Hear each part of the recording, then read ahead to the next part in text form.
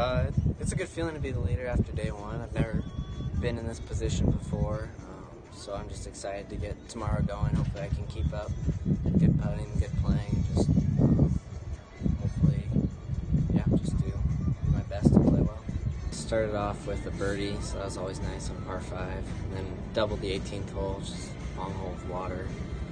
Uh, then I just kind of cruised along for a little bit, and then um, ran into the couple par threes, made a few putts, and that really helped get the round going. Um, and then I kind of cooled off, made a few pars on the back nine, and then a few bogeys, a few birdies just coming in. Tough ending ending stretch for the holes, but overall it was a pretty good round. Made a lot of putts. I made my first birdie on a par five. I hit a decent wedge shot to about 20 feet, made the putt. Um, then on a couple par threes, I put one pretty close to about 10 feet, made a 20 footer on the next, and just started hitting them within 10 feet, and the putts were falling. So it was a pretty good experience to make that many birdies in a row. My record previously was only three, so to make five in a row was a good feeling.